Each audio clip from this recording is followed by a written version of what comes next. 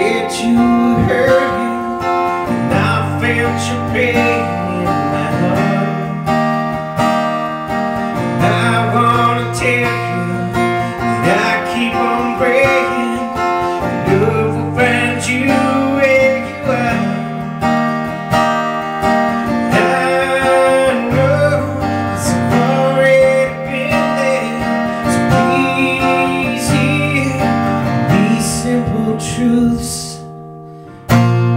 strong.